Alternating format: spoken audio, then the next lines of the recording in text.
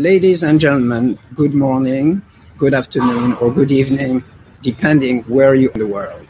Welcome to all of you, and in particular those of you who woke up early or stayed up late to join us at this time. My name is Serge Dumont, co-founder and vice chairman of Impactwayv, a new social media platform that connects people, business, and philanthropy for social good, and which will launch next week in New York. I will have the pleasure chairing this session.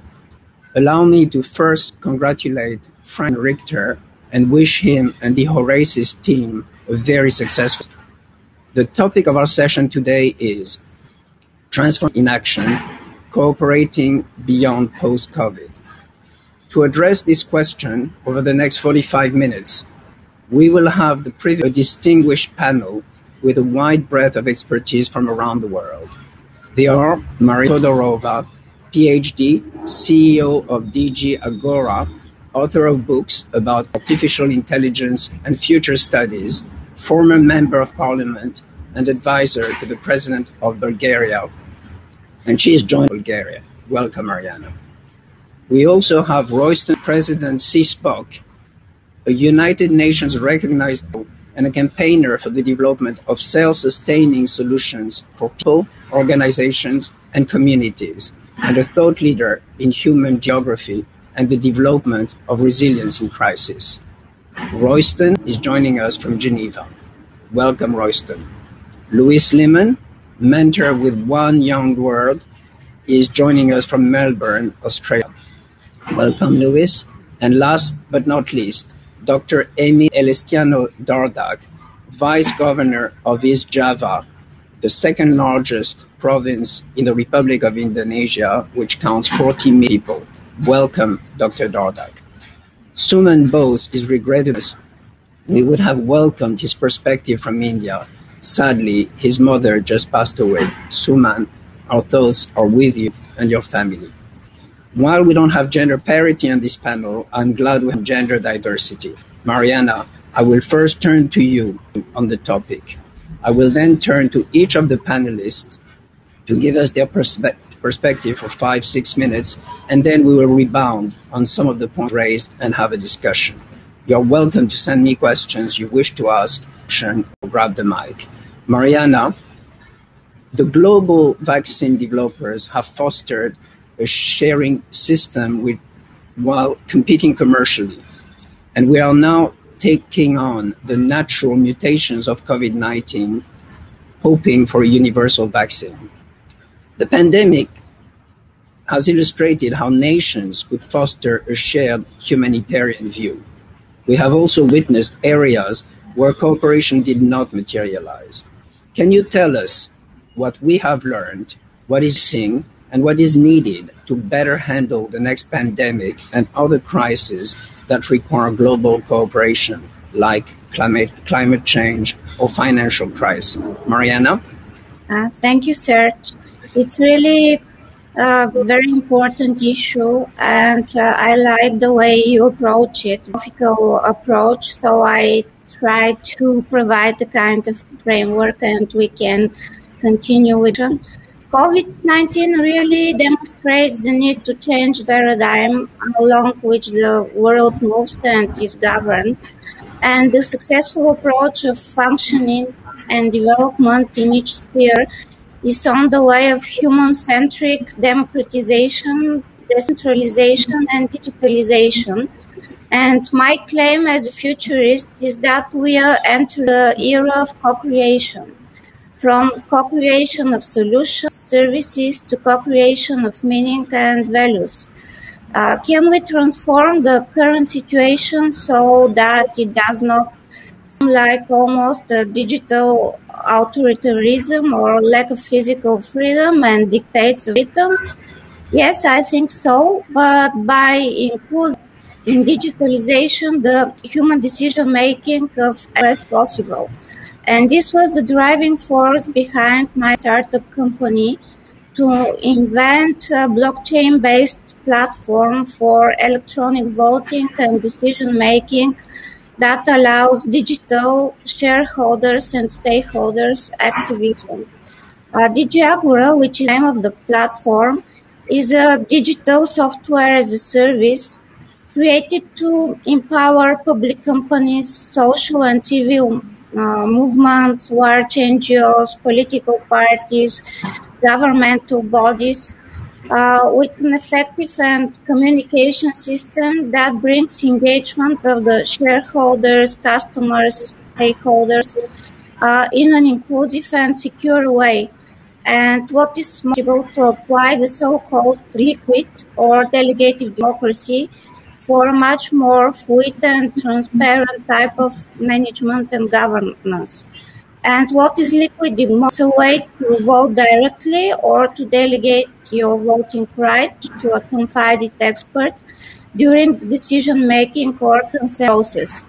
And through delegation, people with domains are able to better influence the outcome of decisions, which in turn leads to an overall better governance and uh, of the bodies.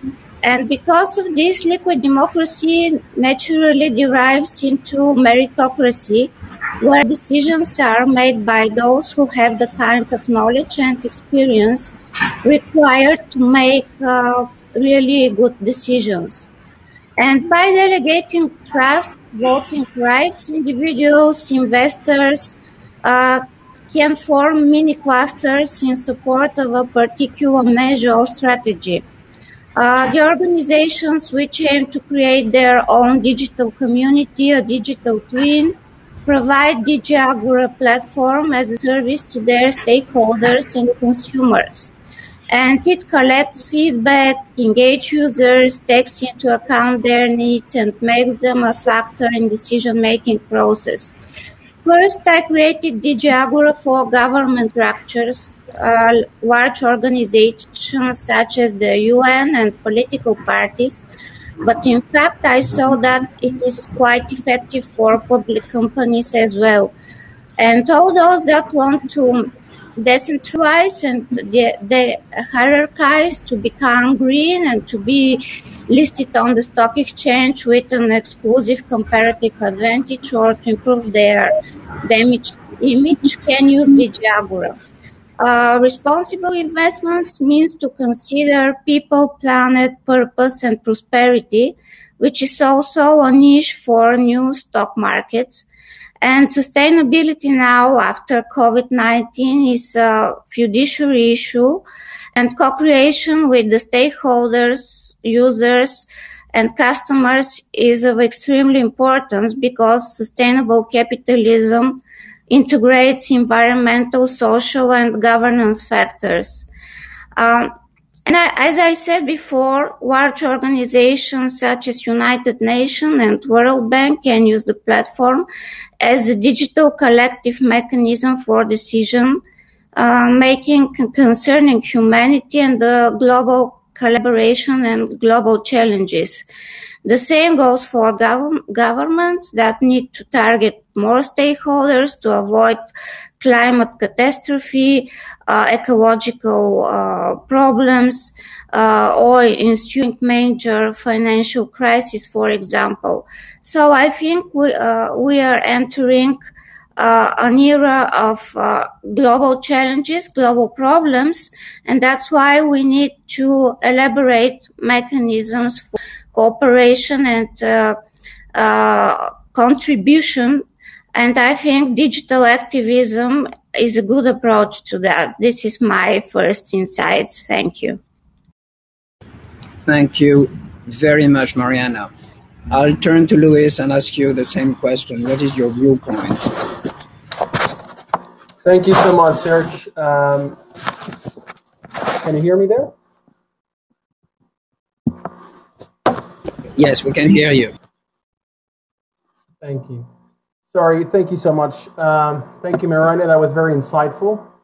Well, I'm going to actually give a completely different approach to the question, though. Um, what is it that we've learned about COVID? What is it that COVID has come to taught, taught us at the same time with any other financial crises or any crisis of any nature? Um, I strongly believe that nothing really happens by coincidence or randomly. There's always a purpose. Whether we understand that purpose or not, uh, that's a different story. But um, To me, for example, COVID has come to really center me, to ground me, to really connect uh, to, with myself. Um, it does really actually put our egos in check, whether we like it or not. And it's something that is very important and really relevant. Uh, it has made actually it has made us realize at the same time that we are all equal, regardless of you know religion, beliefs, ethnicity. A lot of people may not actually uh, agree with this concept, but though, but we're more connected than ever. And so um, I've actually come to appreciate more as well, you know, the things that I have rather than uh, the things that I don't have or complaining about the things that I wish to have. This is, these are the things that really COVID has actually come to, to taught me personally. Um, and it's being, uh, you know, trans- transformative it's I think it's a golden opportunity uh, to really pause, to let go of the things that don't matter, and to really connect with ourselves. So, um, in saying this, I'd like to actually quote from Albert Einstein something that I believe uh, is on point about crisis, and it says like like this: Let us not pretend that things will change if we keep on doing the same things. A crisis can be a real blessing to any person, to any nation for all crises bring progress. Creative is born from anguish, just like the day is born from the dark night. It is in crisis that inventive is born, as well as discoveries and big strategies. Who overcome crisis overcomes himself without getting overcome. Who blames his failure to a crisis neglects his own talent and is more respectful to problems than to solutions. Incompetence is the true crisis. It is in the crisis where we can show the very best in us. To speak about a crisis is to promote it. Not to speak about it is to exalt conformism. So, what does this quote actually tell us? I think it's very powerful, though, because either we can actually bring the very best of us, or we can actually choose. Obviously, we have free will to go into the victim and complain and whinge, and which is normally what I've been actually experimenting around me. A lot of negativity right? Um, in saying this, COVID actually, and as any other crises, have actually been a, a real messenger. They're not the enemy. We shouldn't be actually looking at them as the enemy. They're come here to wake us up, to really give us slap in, a slap in the face and tell us, hey, we need to change the course of things, the way we operate, the way we conduct ourselves, the way we actually treat others, and the way we treat ourselves. Now, we all actually strive for obviously push for policies and new institutions and, uh, you know, relying on big tech, um, trying to solve the environmental problems. Well, I believe that's the wrong narrative, though, because true and real change starts with ourselves. Everything is connected, everything in this universe is energy. So, just to connect the dots here and to bring the audience uh, to the attention of the butterfly effect which I'm pretty sure everyone would have heard of. Um, if there's a butterfly in the Amazon that flaps its wings, it eventually might cause a sandstorm in the Sahara or a typhoon in Japan. How is this possible? This is actually quantum science. And so this is exactly the same thing that happens with us, right? Every single thought, every single deed, every action, every word that we say does have a, an, an effect, a change uh, not only in our communities, not only with ourselves, but everywhere around the world. So it is the behavioral interactions of mankind that drive the, the universe, establishing whether the positive or negative conditions are global of our global existence. Every time we blame others, we actually relinquishing control. So the reason why a lot of things do not materialize uh, in some areas, it's because simply we don't act with a true intention to change things. There's always hidden agendas somewhere uh, in the middle. Everyone that is trying to influence markets or processes or policies is not really being the cause, it's actually being the effect. If you need people to change, you become the effect, not the cause. Something very powerful and I think very important to address, though. And finally, I'd like to just uh, say the, the, the final statement I do believe that the success or failure of humanity's effort to removal of all chaos depends entirely on consciousness. what is in our consciousness? What is it our intention, our true intentions that drives us to actually build things, create things? What are we doing? Is it for the sake of others to share, to give? If it doesn't come with that intention, maybe you get results, but I can guarantee you it's not going to be everlasting. It's going to be temporary. So let's ask ourselves, you know, what are we doing here? What is our true purpose? How are we inspiring and empowering other people to be their best? Thank you so much. That's my message. Thank you so much, Luis, for these inspiring words. Uh, I see that Royston has joined us. Welcome, Royston. Uh, you're joining us from Geneva, Switzerland, correct, Royston? Hello? Can you hear us? Okay, we seem to be having some problems. So, Dr. Dardak, I will I will turn to you first before Royston. And Indonesia, the country you you you come from and you're calling from, has a population of 214 million people, and your own province, the second largest, has 40 million people. Can you tell us, as leader of this country, what you believe has gone well in, term, in terms of establishing cooperation to resolve the pandemic issue, and what are the learnings? What can we do better for the future? Looking back, thank you very much, uh, Sergey. Uh, looking back at the uh, beginning of the pandemic, uh, things were much harder because uh, none of us actually have any idea what what this pandemic entails. Uh, and therefore, global cooperation was very important.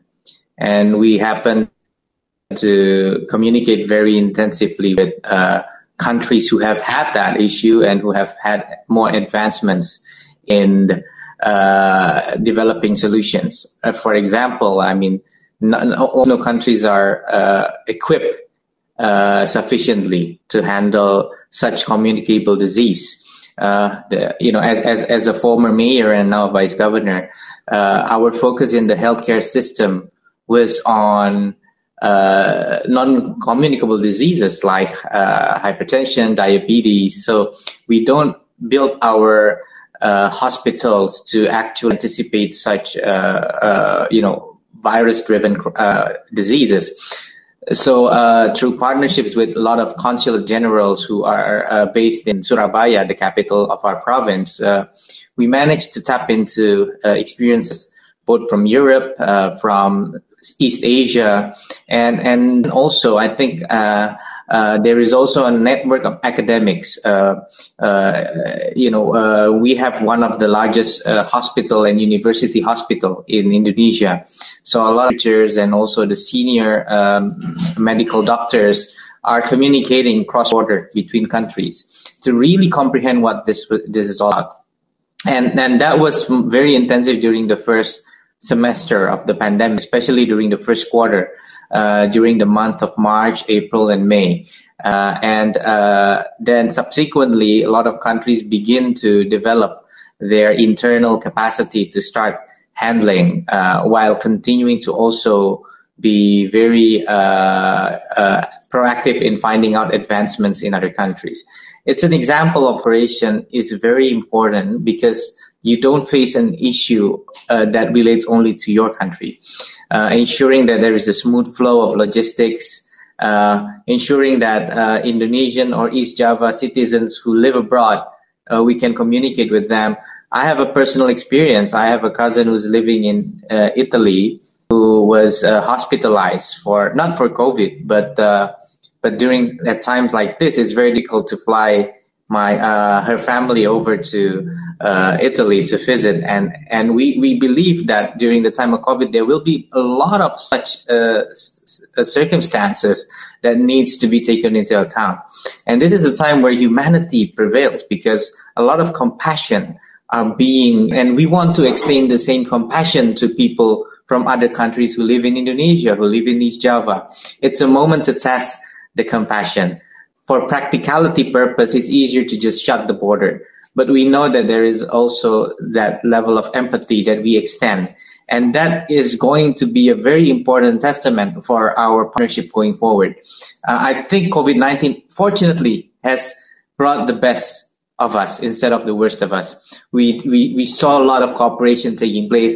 There were a bit of issues on the vaccine, on the fact that there may be some uh, uh, distribution more inclined towards the more developed nations, but we see a very swift move by the developing by the developed countries to ensure that that is not the case. That vaccines are distributed uh, fairly uh, uh, across the globe, and and I'm very optimistic that this will become a, a moment of truth where humanity prevails over national borders. I mean, COVID is definitely uh, a time when humanity rises to its best in the world. I mean, I'm speaking as a as as somebody who who runs this 40 million province and has been helped by the great cooperation between countries, irrespective of where you are. It's not just between Asian countries; is is between different regions. Thank you, Dr. Dardak, for this very optimistic, this very optimistic outlook uh, of a difficult situation that you managed well. Um, I see that we have Royston now. Royston, can you hear us? Can you hear me? Yes, and we can hear you. Welcome. I believe you're joining us from Geneva. This, you seem to be very, very far away, though. Um, the the question that was asked was that we've seen um, a, lot of cooperation, as Dr. Dardak was saying, to resolve the COVID crisis. Can you tell us from your perspective what we have learned, what has gone well, and what needs to be done to ensure that the next crisis, whether it be a pandemic or a financial crisis or the mitigation of climate change, can be done better? I think my First view is the challenge of mindsets. Royston, can you, you can you raise your voice a little bit? We can barely hear you. I think Thank the you. first thing is the challenge of mindsets. I remember I, I, gave evidence to the Royal Society in 2008, looking at many of the things that we've experienced, um, but many of that really wasn't listened to. So I think that we have to create a framework where we start listening, and as opposed to just knee-jerk reactions. I think we're seeing from this pandemic that there is a possibility to cooperate. And again, it's amazing how fast vaccines have been produced. Uh, we have the opportunity to extend that cooperation into other areas like climate change, where we're seeing the potential for massive disasters. In many ways, we're beyond the tipping point. So we have to find ways we can use the new technologies of communication, uh, use the new technologies to spot events before they happen, creating mechanisms to deal with the fear, which is obviously what's been driving the mindsets and create hope. I believe that I was speaking to the Director General of UNOG not so long ago, and she said that the biggest challenge is trust. And that if there is fear, there is no trust. If there's no trust, there's no cooperation, and you are in a spiral of, of negative response. We have to find a way where we can recognize that we're all part of the same humanity. We have to be able to create, I believe, loving kindness as a framework for hope. I believe that we have to find ways of communicating where we share things that we agree on rather than just focus on difference. I believe that where we sit now, we have even worse pandemics waiting in the wings. We saw some time ago that the uh, the SARS H N95, the uh, K, H5N1 uh, virus had already gone human to human transfer, and we saw in the Cairo cluster, fortunately, it burnt out before it went any worse. But there you're talking about 75% mortality and an R of something like 20. We're seeing the MERS virus in the Middle East already gone into air conditioning systems. Uh, fortunately, the mortality is around 35%. So we've, we're dealing with COVID with a R of perhaps one to two. we are seeing uh, the Indian variant, or we call it the Indian variant, but it isn't. It's just a mutation. There are 100 variants already there. And as the virus grows, it learns to become more resilient. And therefore, your even conventional vaccination strategies are challenged because you have to vaccinate 80% of the population to create a cordon sanitaire. I believe that when you look at how we deal with crisis, whether it's a pandemic, whether it's a natural or complex disaster, it's all about people operating in communities and small communities and neighborliness. And I think that's probably what we've lost in the last few generations, where people have not really been looking after each other. I think in the future we have to create a, a paradigm where we look after each other in families and communities, in organizations and countries. And we recognize that the boundaries of difference are really irrelevant when it comes to challenges that affect the entire world, the entire population, and in fact, the, in fact, the world in the sense that we we're destroying it at a rapid pace at the moment. We the extinction of species, the extinction of morality, the extinction of, of love. And I think we have to move to hope rather than fear and look at ways in which we can work together rather than celebrate difference. And in CSPOC, we're focused on how to create self-sustaining communities uh, through health, education, and enterprise. And it's only really when you put them together that you can have longitudinal outcomes. The United Nations is a classic example of working in silos. And even the United Nations is beginning to say we can only be effective if we work together. And that means that the member states have to work together. It's not just uh, making statements at meetings, it's about really genuinely finding ways to work together for the benefit of all. Over to you. Thank you. Thank you, Royston. Um, you've, thank you all for your perspective. Maybe what I'd like to do first is to direct the question to uh, to Dr. Dardak here, and then we, we can start our conversation. We've we've heard a lot of very optimistic and, and positive words. Uh, compassion, empathy. I was glad to hear this word, and um, and Luis actually quoted Einstein uh, saying that the crisis can be a blessing. Uh, in fact, this crisis has not been a blessing for all. 400 million jobs have been lost uh, around the world because of the pandemic, and it has affected uh, disproportionately the most uh, vulnerable people. Um, the question I'd like to, to ask you, Dr. Dardak, because you've you've highlighted how the way to deal successfully with a crisis of this nature is collaboration, both internal scientists and various stakeholders. Um, I think somebody has the mic on. If you can mute yourself, that will uh, ensure that we have a quiet environment. Um, so you need internal cooperation and international cooperation. It, the feeling that a lot of people have is that nationalism has actually been the major stumbling block. As um, Royston was saying, people work in silos. As you mentioned, Dr. Royston, the first reaction has been very often to close the borders. Now, are the international organizations structured in a, a, way that fosters this international cooperation? And are they breaking the silos? What could be done to actually improve that specific area, which is so crucial?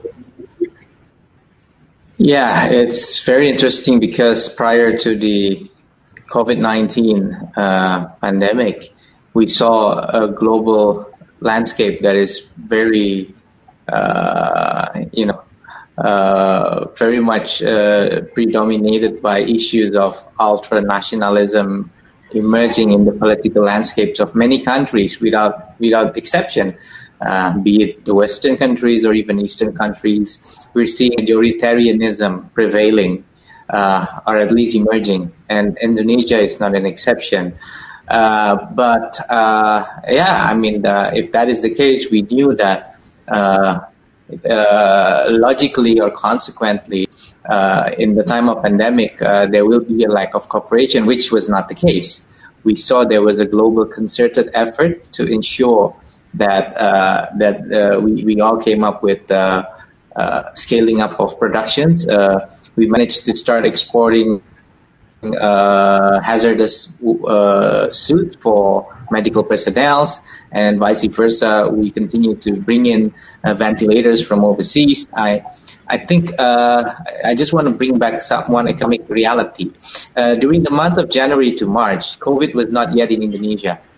Pretty much not yet in Indonesia. It was a more of a China phenomenon and maybe some part of Europe, uh, but very limited.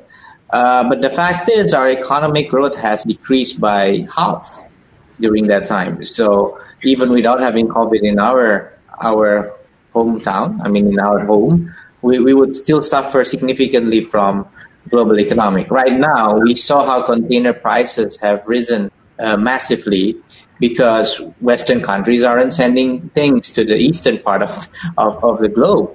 Uh, and containers are not only rare, they're also very expensive, even if you can get those. And, and it, we suffer because the global supply chain, value chain in, in reality have, you know, is so uh, intertwined. So uh, it is always a temptation for Indonesia or, you know, to, to be self, even within Indonesia, uh, local governments always talk about self-sufficiency. They always talk about why are we buying things that we can make?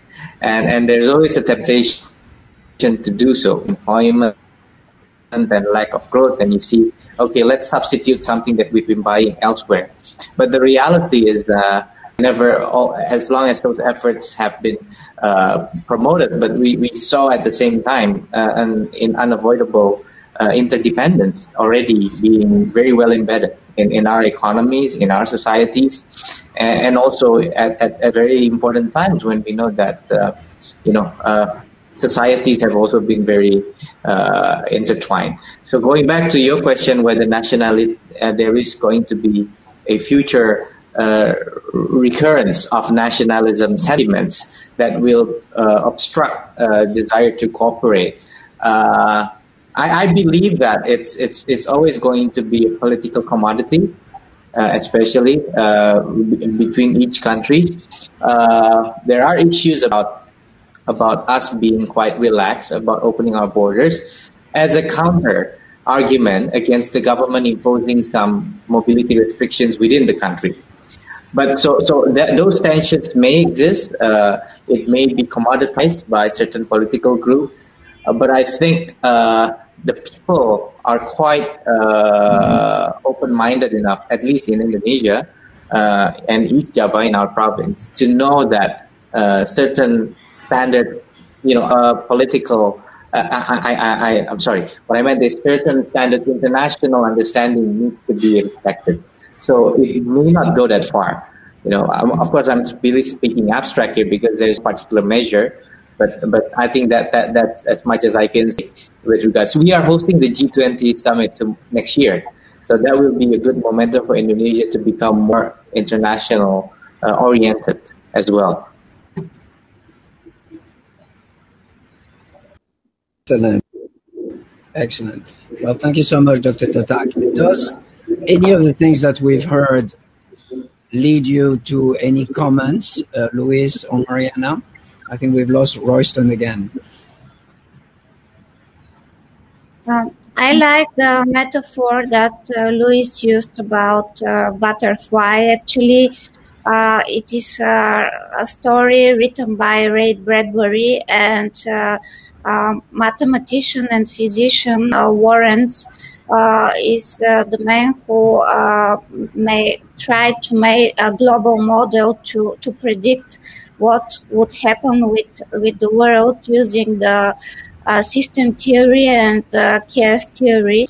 And what he found was that we cannot predict what would happen. We just can uh, catch some certain specific elements, but we still don't know much about uh, the, the chaos and the chaos theory. And what is chaos sometimes might be uh, something that is an order, but we don't have enough knowledge.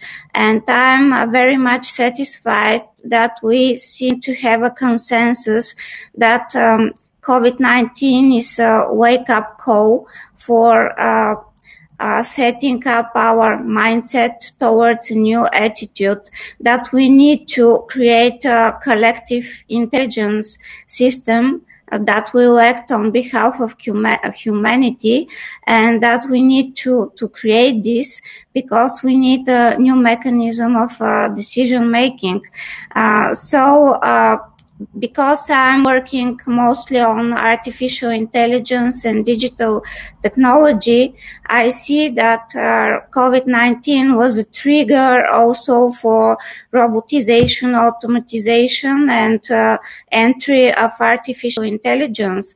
Uh, but besides these instruments and this technology help us, we also need to consider to a certain extent we, will allow this technology to develop because they might cause also a lot of problems like technological uh, unemployment, um, dehumanization of economy and services, and that might provide again another another crisis.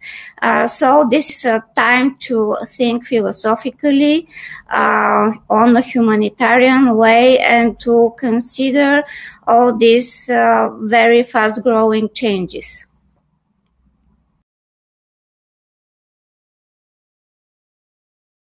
Sorry, Luis, any comment? Um, thank you, Serge. Well, yes, the only comment is, again, uh, coming back to the consciousness of people. Uh, Mar- Mar- Mariana actually mentioned about how do we measure chaos, if it's unpredictable or predictable. Quite frankly, I guess we have the answers already within ourselves. We create our own chaos in our lives. I mean, we either actually drive our own lives to hell or not. I mean, it's I think to me, it's pretty clear that every single action, every single thing that we do has uh, uh, an effect. Everything in this universe is cause and effect. So, normally we tend to rely on robots or machines, or it's great to create all this technology. Don't get me wrong, I love it. Um, however, though, we are the brains behind that technology, and it's the intention and the consciousness that we put behind those machines or those robots or those um, new innovations that will ultimately drive them to do either good or bad. It's all intention. So that's the only thing that I just wanted to address uh, upon that. Thank you, thank you, Luis. I see that we have uh, people in the that are active in the room and that would like to ask questions. I see Yun Chen. Yun Chen, would you like to ask a question? If so, you can grab the mic.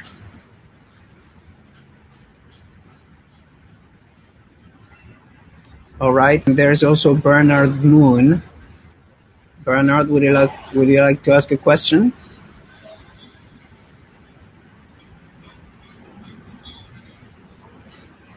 Well, feel free at any time to interrupt us and ask the question.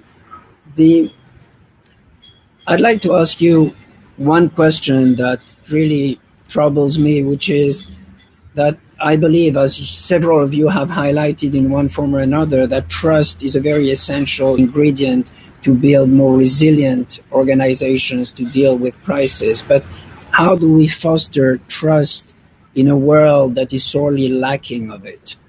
Do you have any thought on that?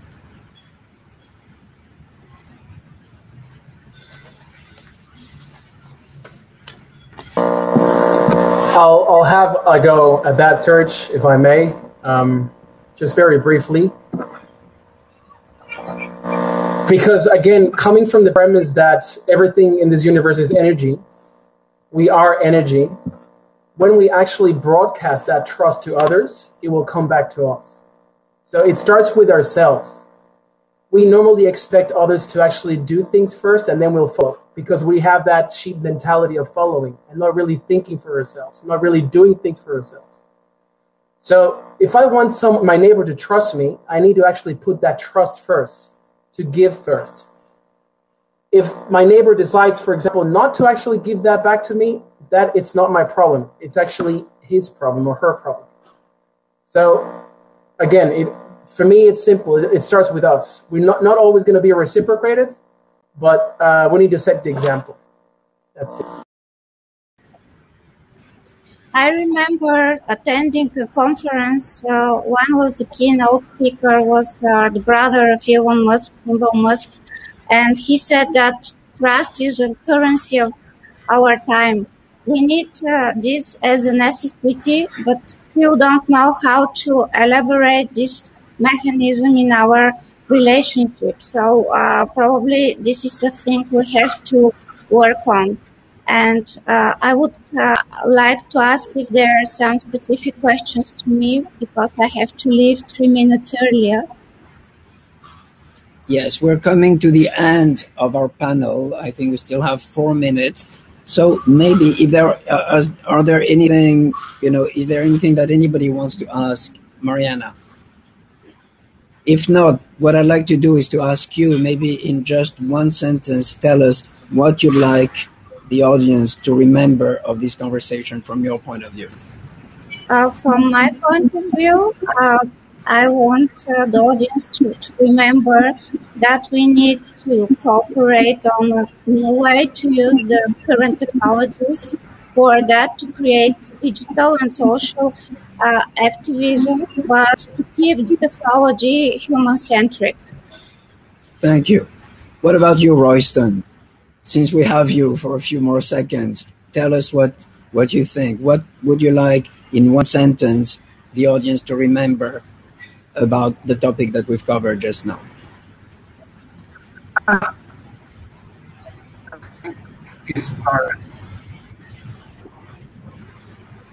You're breaking out. We can't hear you.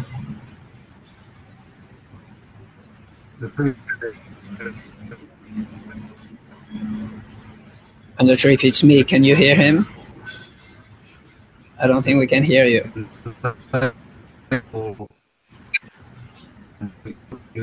Let me turn to Dr. Dardak, and I'll come. I'll come back to you, Royston. Dr. Dardak, what's your your viewpoint? Yeah, uh, I think uh, again, I, I, still would like um, I would like to still emphasize on the, the compassion, uh, trust as the currency. Of course, uh, trust is not uh, as easy as, as, it seems, and but uh, at the end of the day, I think compassion prevails, and and that will become a very important trigger for international cooperation uh, I think I think that that concludes it. Thank you. Thank you so much. And Luis, you seem to be having the last word, unless we have uh, Royston coming back again. Thank you, Serge. Uh, my last sentence would be again the, the very best investment that anyone could do with their lives and affect change globally is to invest in our consciousness. Elevate people's consciousness at all times, wherever we can to bring out the be- very best of ourselves. This is a very wise advice, and I hope that it is heeded by many people. Uh, I thank you all very much. We've come to the end of our of our panel, and we've been very good with time. I thank you all, and I thank our panelists for their contributions. Thank you all very much, and I hope to be able to see you in real life. Thanks, Church. Thank you so much. Bye bye. Take care.